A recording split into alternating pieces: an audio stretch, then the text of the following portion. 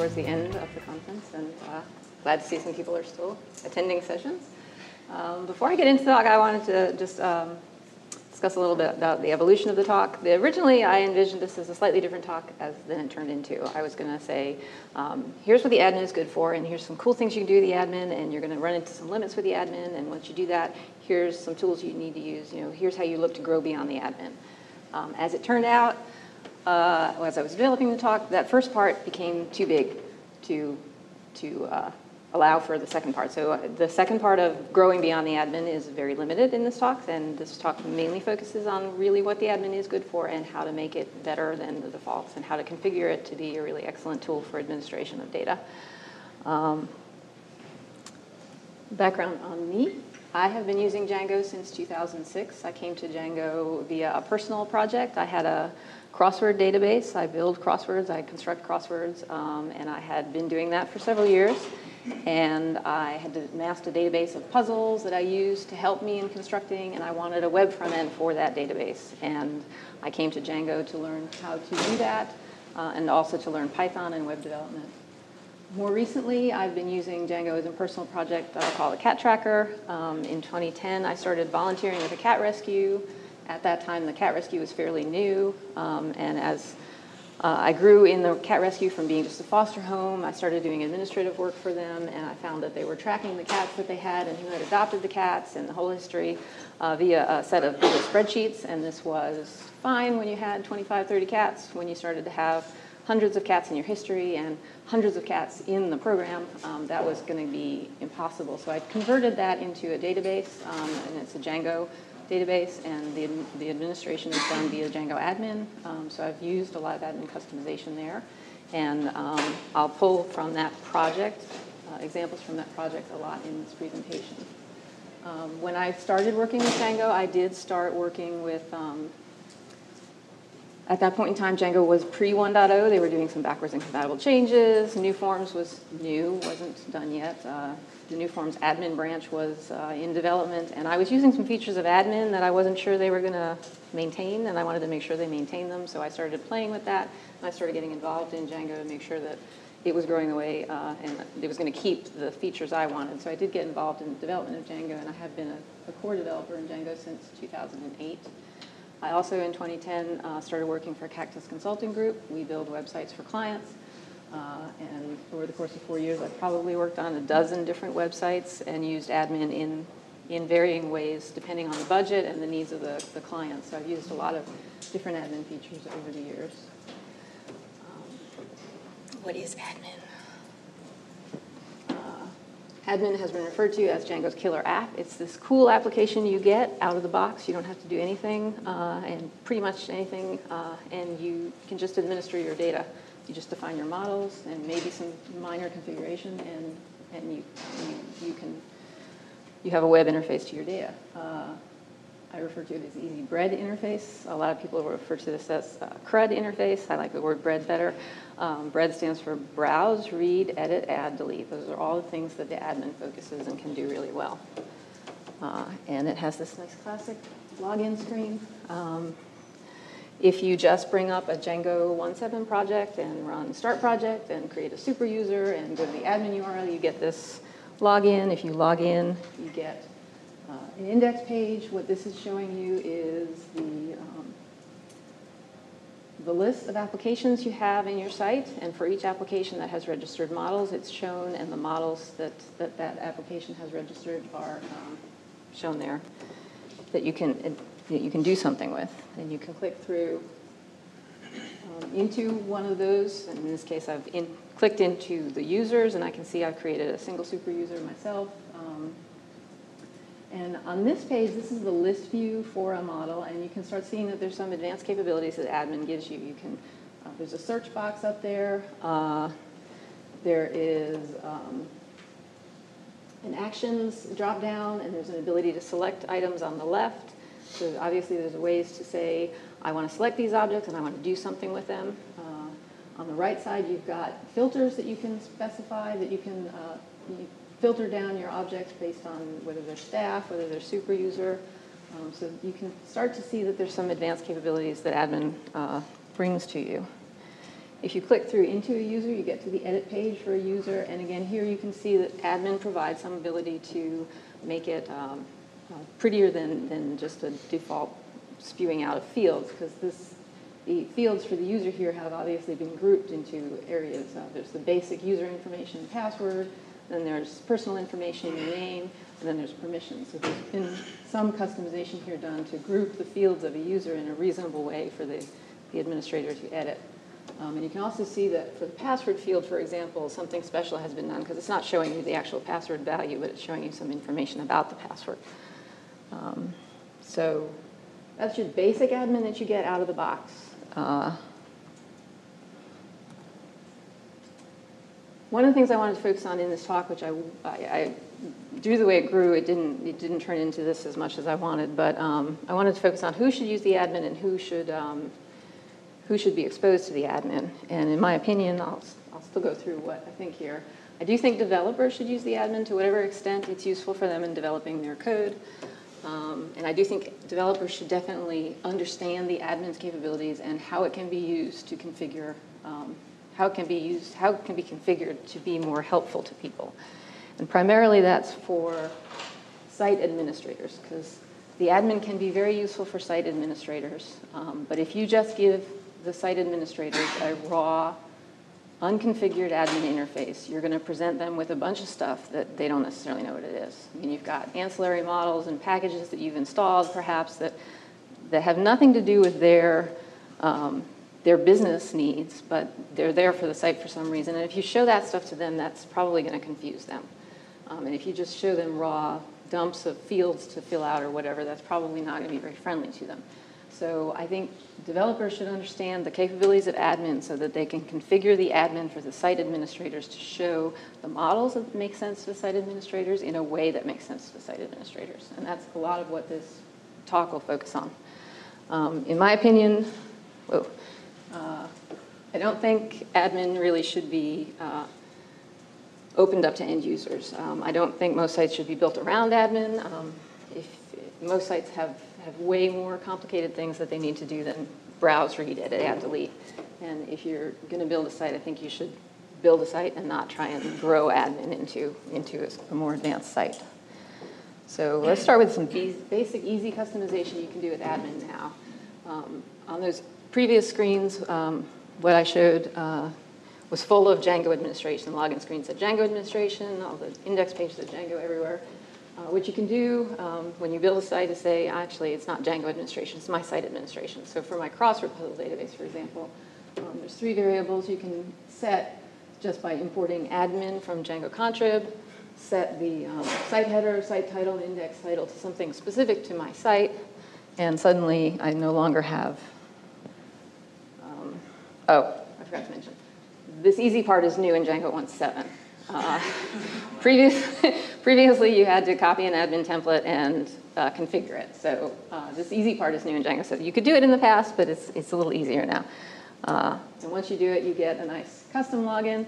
Of course, anyone who looks at that is going to say that's Django, even though it doesn't say it anymore. It obviously looks like Django, but um, it doesn't does identify your site.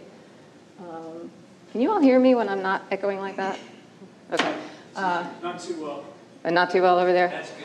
That sounds good, but you turn this, you turn that. When I turn this way, okay. Uh, I'll try to rearrange this. Um, worse or better?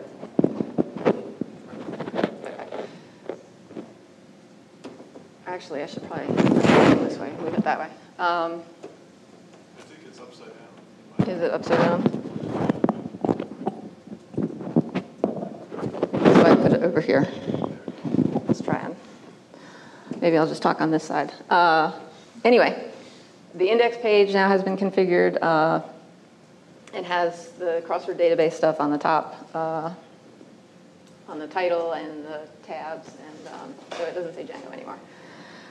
Once you get beyond that basic level of customization, uh, you need to start talking about how you want your models to appear in Django. And in order to uh, describe that to admin, what you're going to wind up doing is talking about model admin objects. And what a model admin object is, is the description of a model, representation of a model in admin. Um, Django provides, Django admin provides a basic model admin that can introspect your model and provide, uh, you know, a default uh, representation of a model, but you can also configure that to be more tailored to your needs, and that's what a lot of this talk will be about. Um, these are defined in admin.py, and they are uh, loaded at startup, and part of the code in there is going to register the models to admin. Um, and they have many, many, many options. And what I'm going to try and do in this talk is focus on the ones that I find to be the most useful and um, organize them in a way to talk about here's options you use for finding data and filtering data and seeing data. Here's options for editing data. Here's options for doing bulk editing of data. And here's ways to control access to data in the admin. Um, so I'm going to try and group my discussion of the admin options that I talk about. Um, so I'll start with, whoops, not that. I'll start with, this is the beginning of the model admin definition for my cat model in the cat tracker, which as you might, example, might guess is a fundamental model. Uh, and um, so all model admin objects are going to inherit from, based off of uh, admin.modeladmin. The normal naming convention is you take your model name and tack admin onto the end of it, and that's what you call your model admin object for your particular model. Um, in 1.7, there's a new decorator that lets you easily register models with the admin, so you can just say admin.register at the top. Um, in older Django's, you need to do an admin.site.register to specify the model admin to use for each of your models. Uh, the first four things I'm going to focus on are controlling how you see data, what you see about a list of cats, um, and how you can filter and search on cats. Uh, so I'm going to talk about list display, list filter, list editable, and search fields. Those are the four things um, listed on there. Um, and as you can see, most of them are, are lists, or tuples, or sequences of things. And most of them are just strings. Some of them are, can be code, like that active Foster homes filter, which we'll talk about a little bit more. Um, and so with these four things influencing what you see about cats, you get a page that looks like, hit the right button, um, this. So uh, what you see here, um, list, list display is, is controlling what columns you see there. So you see the name of the cat, the estimated date of birth, or the, the intake date of the cat, estimated date of birth, and then those are all pretty obviously simple fields on the model. Then you can get a little more complicated. Uh, the age of the cat, the alter date for the cat, those are not actually fields on the model. Those are information about the instance that we've generated somehow. Um, and alter date is a little bit weird looking because some of them are red and some of them are not. Uh, so there's some mystery behind that. And there's some more fields. Um, available there is a checkbox because available was listed as um, list editable. So what we said there was list available is a field of the cat that I want to be editable on the list page. So this is jumping ahead a little bit, is a way to allow for um, some bulk editing capability where you can see a list of objects, change some values in those objects, and save them in one go. If you page down to the bottom here, you can see that there was a save button at the bottom, so you could change the availability of a cat right on the list page.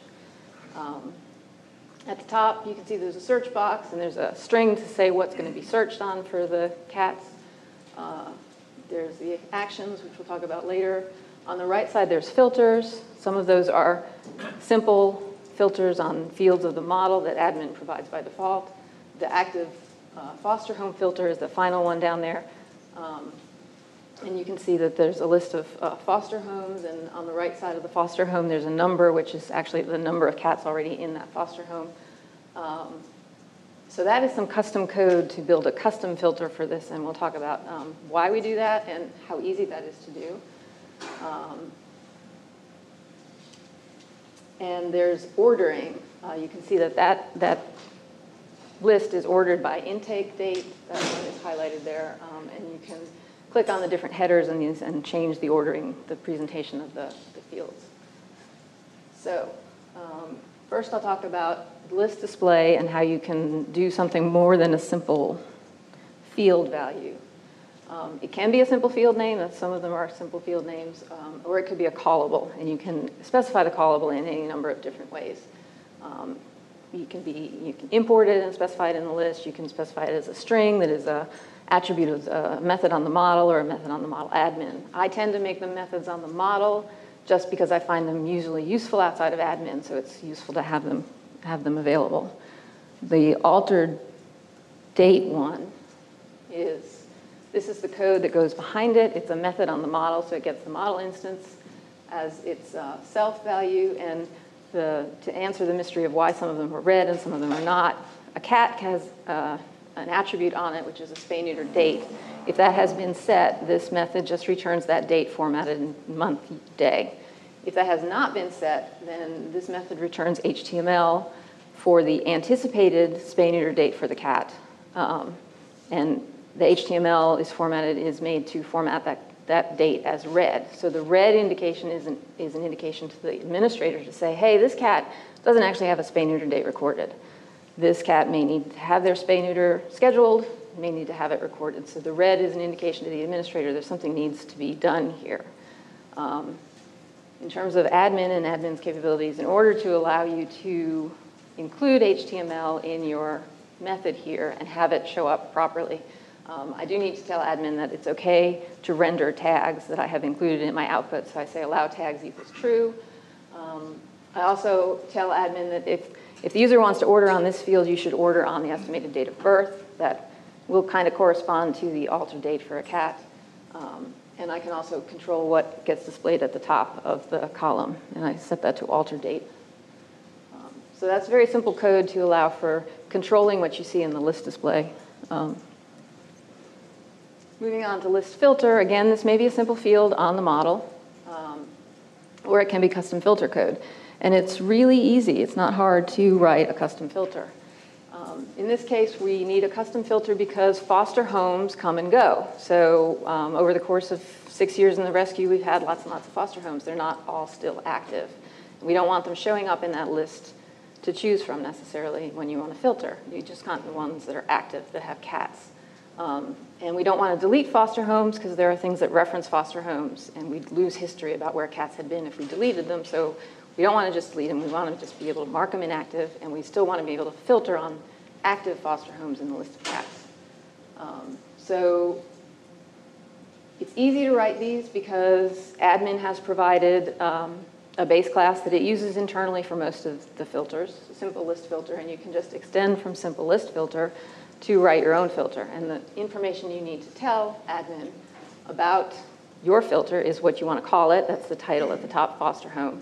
Um, you also say what query string parameter you want to use. When one of those is selected, the effect is that the URL is modified to include the query string parameter with a value to say I want to filter on this query string key that has this value. So in this case, I have FH as the, as the key.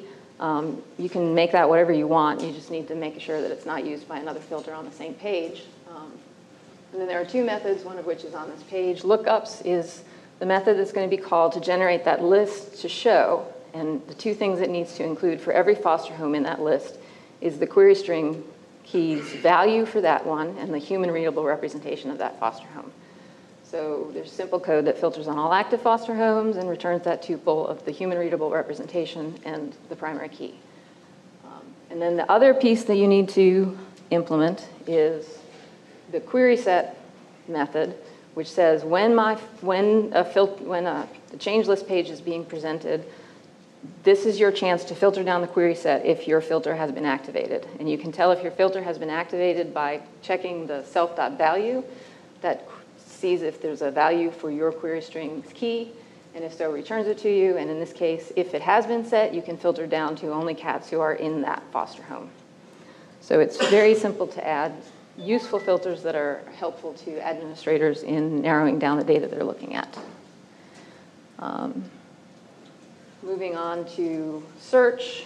Search fields was another list of fields. It, again, that could just be a simple field on your model. Also with search fields, you can use double underscore syntax to traverse to a related model and say, I also want to search um, not just the cat's name, but the adopter's name. Um, so that can be helpful at times. Um, admin, I noticed on the, on the page where I showed this that I, there was text description at the top that said what was being searched. And admin does not do that automatically. Um, it would be kind of hard for admin to, to, to, print out a list of things that are being searched. Um, so the way in which, but personally, I find it useful to know what's getting searched. So I usually like to customize this. Um, and the way in which to do that is not via, my, why do I keep hitting that key? uh, go away. Okay. Um, the way you, in which you do this is you override an admin template. So the admin defines what templates are going to be used for different operations, the change list template, the edit template, um, and you can override those at the model level, at the application level, uh, at the global site level. In this case, I've overridden the um, change list template for the CAT model, which is under templates, admin, CTRAC is the application, CAT is the model. And all I've done is extended from the base change list and admin, and I've overridden the search block in that to include my text followed by what the admin would have produced ordinarily. Um, so that was fairly simple to do. I think I did have to dig into the template and see, did it define a block that I could easily override? I don't think that's um, entirely well documented yet. Um, the existence of the templates is documented, but the actual blocks in them and whether they define all the things that you need to easily override bits of the pages is not necessarily fully documented. Um, so that is presenting data, filtering data, searching data. Um, the next thing I'm going to talk about is customizing the ability to edit data. So once you've found the object you want to edit, um, how do you control what you can see, what you can edit, and how it's presented? Um, and four things I'm going to talk about are field sets, um, read-only fields, inlines, and also I'm not going to talk about this in any detail, so I'll talk about it here. Um, you can also just override the form completely uh, that the admin uses. By default, admin's going to create a model form based on your model. You can say instead you want to use this other form, and you can do whatever you want in that form. As an example of, of a way I've used that with the cats, oftentimes um, you're taking in a cat and you need to supply the estimated date of birth, but in fact, it's a lot easier to say this cat looks like it's four weeks old and not to have to go back and figure out, oh, four weeks ago, the date was what, such and such. So I've changed most of the forms here where the user can specify either the estimated date of birth or the age of the cat, and the form will automatically take either one of those and set the estimated date of birth field. So you can override the form entirely to do whatever, you, whatever is useful. Um, and that's fairly simple to do. The, the complicated thing is what you might want to put in the form, and that depends on your own business logic. Um, field sets, are the things that you specify to say, I want this group of fields and then this group of fields, and I'm going to name them such and such, and I'm going to name this group of fields such and such. And these can get to be a bit of a nightmare when you got a lot of them because what the way you, a declarative definition of layout is just kind of gets to be a little bit gnarly when it gets very long. Um, so these are specified as two tuples. Uh, it's a list of two tuples or a sequence of two tuples. The first element in the tuple is the name of the field set, which might be empty, like the top one is usually empty. Um, and then the second element in the tuple is a dictionary that describes the options for that field set. The dictionary has some keys, one of which is going to be the fields to include on the, in that field set. Uh, and you can also include a classes key in that dictionary to influence the classes that are put on the, the HTML for that field set, which can influence the presentation. Uh, and Django admin provides a couple classes. You could also extend the CSS for admin and, and provide your own classes to do other stuff if you wanted to. Um, as an example, this is the beginning of the field sets for a cat. Um, the top part has just basic information about the cat, names, test dates, um, such and such. The second field set has a name of description, it has a different set of fields, and it's also specified the classes. Um, and it's specified the classes collapse. Uh, and what that does is say this field set, name description, uh, is going to have a link in it to allow you to show and hide that set of fields. So you don't necessarily have to see the whole thing all the time. Um, one thing to point out here, and one of the reasons this gets to be a little bit hairy, is you can, in that list of fields that you're providing, group things. So as an example, uh, name, intake date, and foster home are grouped within that list, and the following fields are grouped within that list. And what that tells the admin is try to put these on the same line rather than putting them one after the other. So that lets you pack more information into, um, into a single line rather than spreading it out vertically. Um, but when you start doing that, you've got tuples within tuples within dictionaries within tuples, and you don't know whether you need to do a closed paren or a closed bracket, so that's why they get to be a little hairy at times. Um, but they're useful for, for grouping the information to show to admins um, in a logical fashion. Uh, read-only fields, I'll combine an example here with inlines. Um, what you can do with read-only fields is say, I want to show some information about this, this field, which may actually be a field or it may not be a field. It may be just something about the, the instance. Um, but I don't want to make it be editable. So it's not going to show up in an HTML input of any form. Um, it's just going to be information that's displayed. And since it is just going to be displayed, you can, instead of specifying a field, specify a callable that returns some information. Um, inlines, I'll combine talking about read-onlys with inlines. Inlines are a way to say, I'm editing, in this case, a caretaker who may have adopted some cats. So a caretaker is a person who may have adopted some cats, maybe have a foster home. Um, and in this case, I'm going to say caretakers have information associated with them. They have phone numbers, they have email addresses, they may have multiple of those, they may have adopted cats. So you can see at the bottom, caretaker admin defines inlines, and these are the things that are related to a caretaker that I want to show in line with the caretaker. And I want to potentially be able to add phone numbers for this caretaker, add email addresses for this caretaker, edit the ones that exist, delete the ones that exist. And similarly for cats they've adopted, I may want to in, I may want to edit some of the information about cats that they've adopted. Um, I've shown the example inline that I've shown is the one for cat, which is somewhat customized and shows some of the options you can specify. For an inline, you're going to extend uh, from admin.tabular inline or admin.stacked inline. That's just a different presentation format. Um, and the options for an inline are uh, overlapping but not, not exactly the same as the options for a model admin. So in this case, you need to tell the inline what the model is um, that's related to the, the page you're putting it on. Um, the fields that you want to display, in this case I listed just three fields of very many fields on a cat that I want to see in the context of looking at a caretaker who has adopted a cat. All I want to see is the name of the cat, the adopted name of the cat, and their microchip information. Um, and of those fields, the only one I want to edit is the adopted name of the cat. Uh, so the other two I've specified as read-only, so I'm not going to be able to edit that information about a cat on a caretaker page. Um, I've also specified max num equals zero, and this says, kind of sounds like it says I don't want to see any, but what it says is I don't want to see any blank ones. I don't want to add any here. Um, but I do see the ones that already exist. And I've also specified I don't want to be able to delete adopted cats from this page, because that is not where we would do that. Um, and the effect of that is a page like this. This is an edit page for a caretaker. You've got your basic caretaker fields up top.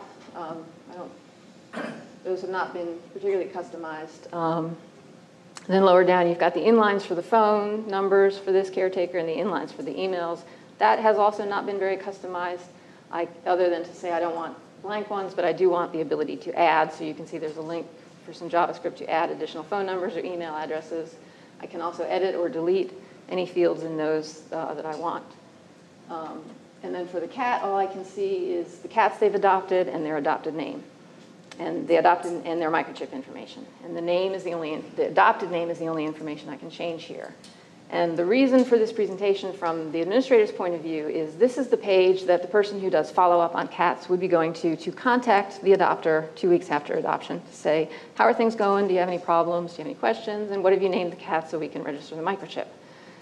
So on this page, that's the only information they should really be wanting to change is the adopted name of the cat. So that's the only thing that's made editable for them.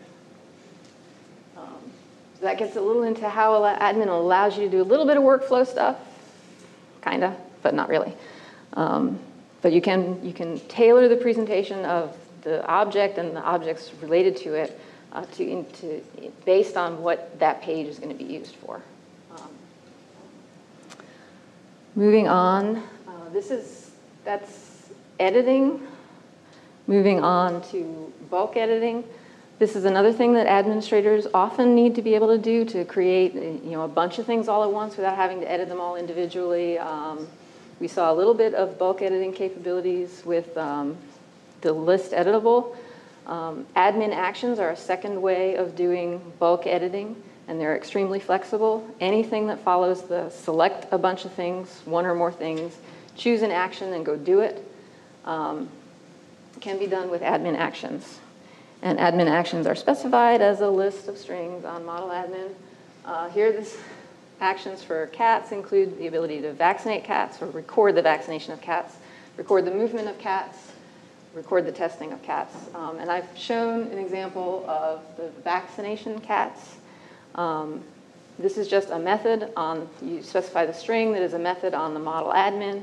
So it gets as parameters to itself the model admin, the request, and um, the query set, which represents the query set of things that were selected for this action. Um, if all you need to do is something like mark a blog entry published, you could do that here and just return redirect to the change list page. If you need to get some more information out of the user, or you want them to confirm what you what they've asked to do, generally what you do is redirect them to another page that handles doing that. So you take the query set you were given, uh, figure out what all the primary keys are for that query set, and pass them along to some other view, which is what this does. Um, it just redirects to a ctrack vaxcats method um, view, um, and that's it. And the only other piece of information there is that the action name that shows up in the drop down is going to be vac selected cats. Um, I'm not going to show the code for what that does. I'll show the the workflow of selecting is to select on the left, and you can see that they're highlighted in yellow at the bottom. I've selected four cats for vaccination, selected the action of vaccinate, and I'm about to say go ahead and do it. And then that view that I didn't show you the code for is a pretty standard form view that generates a form for the user to fill out that includes the date of when the cats were vaccinated and provides a choice of list of things, vaccinations they may have gotten.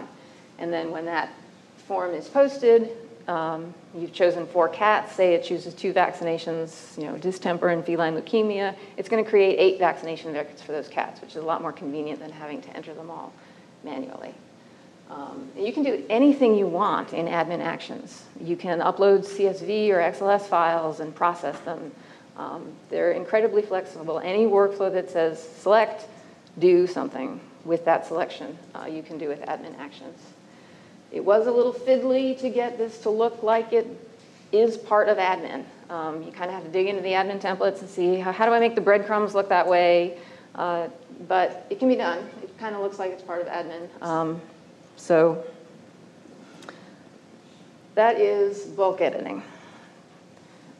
Next, we're going to talk about um, access control. So I mentioned way at the beginning in order to make the admin useful for your site administrators, it helps to limit them to see only those things that make sense to them. And one way of doing that is with the default Django permissions and groups um, that, that come by default with Django. So every model in Django has a read, uh, not a read, but a change, uh, an, an edit, delete, and add permissions. And those permissions are automatically available in admin. You can assign them to users or groups. I usually find it most convenient to assign them to groups so that I can change uh, and then assign users to groups so that it's more convenient to update um, as the application grows. Um, so in this case, I've got a ctrack admin group that has um, a set of permissions for the cat tracker application. And on the left, you can see it. This group does not have a set of doesn't have any permissions for a completely different application on the same site, the Alter Track program that's a completely different program. It has to do with vouchers, doesn't have to do with the cats. Um, so we have different volunteers. Some of them work with the voucher program, some work with the, the cat tracker, you know, the adoption program. So depending on what you do with the rescue, you may be in one or more of these groups. And when you log into admin, you only see the things that make sense to you. This is convenient, and it works when you say, when you can do that, when you can say, uh, this volunteer is uh, working with vouchers. They should get the AlterTrack program, you know, permission to the vouchers and the AlterTrack. It doesn't work when you need to give users access to a model, but not necessarily all instances of a model or all fields of the model. Um, it is possible also to use admin to customize down to that level.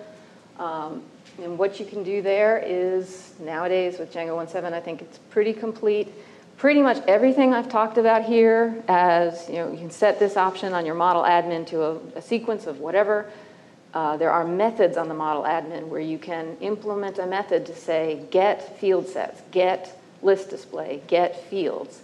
Uh, And those methods are given the request object. So those methods have access to the user making the request. They can use the user to figure out, this user should have access to these things in the database. So I should show them this list. This user should have access to these fields. So you can get fine-grained um, per object permissions in the admin by overriding these model admin objects. Um, And as an example, I've done this in a site where I wanted to allow the site administrators access to users, but I didn't want to allow the site administrators access to the super user attribute of a user. Um, So I made super users completely invisible to them and the existence of that field completely invisible to them. Um, So that, you can do that as well. Uh, Okay. When do you start hitting limits? Um, Some of the things that I have found lacking in admin, there's no reporting, and I've been asked for it in many different ways, many different sites. You know, I'd really like to download a CSV as this thing. You can add it. There's no option, though, to add it. Um, and, You know, there's no easy turn on. You can do it yourself. Um, I've done it in a couple different projects. Um, I added reporting to the cat tracker database in a couple different ways. Um, So you can add it on, but it's not anything built into admin. There's also no workflow, no dashboard. Um, We had one project where it was open to the end users, and they had this complicated relationship of models, and they wanted to say, the user needs to do this, and then they need to create these things, and they need to do this thing, and they need to do this, and they, we need to do it in admin. That's not the way admin, it, it doesn't, doesn't provide a way to say, you know, when you're done with this, you go and do that. Um, so it doesn't, it doesn't really provide any hooks for doing that. Um, There's no dashboard. Um, When I, when I use it for the cat tracker and I see other people use it for the cat tracker, I feel a lack of um, some notification kind of things to say, you know, you're the person that does health for the cats and you should know, you logged in today, there's this list of cats, that you're going to need vaccination soon. Um, I can build that as, you know, there's a report for vaccinations as to what's coming soon. I can add in an email that's sent to the user, but it, it'd be kind of nice if I, it was built into the site and admin doesn't have it and there's no easy way that I can think of to really add it in a general purpose way to admin. So when you need these kinds of things is when I start to think you grow or you're growing beyond the admin and you kind of want to start doing your own thing. Um, I just wanted to point out, there's also, the inlines are restricted to one level, so you can edit things that are directly related to the object you're editing, but not things that are related to that. And there's a very old ticket in Django, um, below 10,000, that uh, requests nested inlines, you know, the ability to in, edit things related to the things related to the thing. And uh, a couple people have made serious attempts to try to implement that. It hasn't happened yet. Um, maybe it will someday. Um, Ultimately, though, another issue with building off the admin, it doesn't look like your site. I've worked on a couple of sites where we have, due to budget constraints and the needs, you know, here's some things you can do in admin, and here's some things that we built on the front end of the site, and they look pretty different. You can skin the admin, you can do a lot of work there, but ultimately, it looks like admin. Um, The URLs look like admin, um, so there's some, there's some confusion that can result some, you know, why can we do these things in, in this part of the site and we can customize it really nicely and do exactly what we want and over here we can't? Well, because we're building off of admin over here. Um, so that can, that can get to be an issue. Uh, so the, when you start hitting these things is when I start to say maybe we ought not be building off admin. And what do we do instead? Um, and this is the part of the talk that I'm already almost out of time. Uh, so here's the second part of my talk, uh, which is condensed into one slide, is you write your own code. Um, and Django actually makes this pretty easy. Uh, that's why we all love Django. Uh, if you have done a lot of admin customization, you've probably wound up building a bunch of model forms already, and you're probably going to reuse those in building your custom whatever you need to go beyond admin. Um, there are CSS frameworks and form helpers. I mean, when you, when you step outside the admin, what you lose is the, the default reasonable looking presentation of your stuff. So you need to build your own CSS, your own form presentations, and there's helpers to help do that. Um, or you can just you know, wing it and do it yourself. Um, If there's something that admin does that you really like, you can always look at the admin code and see how it did it and, and pull it out and do it yourself. I did that with the crossword database when I was just getting started. I loved the filters. I wanted to do that in my own code. I looked to see how admin did it and I re-implemented it in my code. Um, That was before they made it as easy as they did now. Um, So you can also just crib from what's in admin. So that is what you do when you grow beyond admin. And I didn't run over yet. Um, And I had to have a picture of a cat. And so I guess we have a little bit of time for questions.